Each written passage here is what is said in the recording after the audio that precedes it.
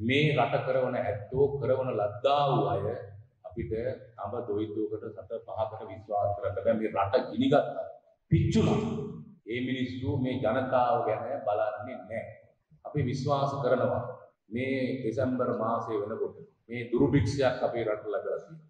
සෝමාලියාවක් කරලා ඉතියෝපියාවක් කරලා සුඩානයක් කරලා මේ රට ගැසට් කරලා තියෙන කවුද? මේ අපි තන්දේ දීලා යපු 225 දෙනා ඒ කට්ටිය ගැසට් කරලා දුන්නා. මේක දිලිඳු රටක් කියලා.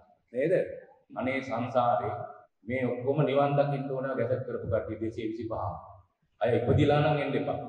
හිඟා කකා රට කරවන.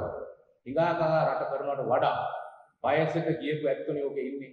දැන් රජයේ සේවකයන්ට යන්න කියනවා අවුරුදු 60 අපි කියන උඹලත් ඵලයල්ල. මෙතනින් පස්සේ ආයෙ එන්න එපා. ඒ වගේම අපි මැතිවරණ කොමසාරතුමාට කියනවා. ඊළඟ මැතිවරණ එනවනේ.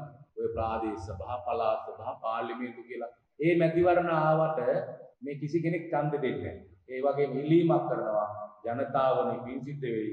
මේ වලට වැටුනේ අපේ විහිම්මයි ඒ හින්දා ඔය දේශපාලඥයෝ කොයි පක්ෂෙන් ආවත් ඡන්දෙ දෙන්න යන්නත් එපා රැස්වීමකට යන්නත් එපා. පූජනීය මහා සංඝරත්නයටත් කියනවා කවුරුවත්ම දේශපාලඥයෝ ගාවට යන්න එපා. දේශපාලඥයෝ මේ පක්ෂ පාට අපිට වැඩක් නැහැ. ඡන්දේ උදේම ගිහිල්ලා කටු ගන්නවා. ජනතාවනේ අවදි වෙනවා ඒ 225 හිතනවා මේ දරුවන්ගේ අනාගතේ හදන්න. වැටි වැටි නැගිටලා තමන්ගේ පුතා දුව ඊළඟ ජනාධිපති වරණයට മന്ത്രിකම ගන්න සූදානම් කරනවා. මුංගෙන් අපිට සෙතක් වෙන්නේ නැහැ.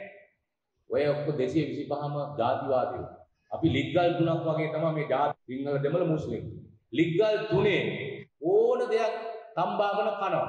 කවුද කන්නේ මේ දේශපාලක රට කරවන අය. ඉතින් වර්ගවාදී අවුස්සලා ආගම්වාදී අවුස්සලා තමයි මේ දැන් මේ ඇස්සේ මේ මෙවර අයවැය එහෙම පිළිපද කරනවා.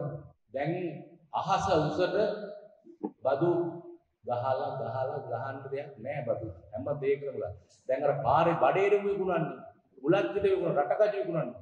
ඒ මිනිස්සුන්ටත් දැන් බදු ගෙවන්න සැලසුම් කළා තියෙනවා. පාර්ලිමේන්තුව නියෝජනය කරන 225ක් ඉන්නවා රක්ෂණ ආවරණයක් කරන්න ලැහැත්ති කළා තියෙනවා අයවැය රටේ ජනතාවගේ නෙවෙයි. 225ක බලන්න තවත් මේ මිනිස්සුන්ගේ තණ්හාව ඉවර වෙලා නැහැ. තවම රටේ ජනතාව පීඩණයට පත් කරන්නේ.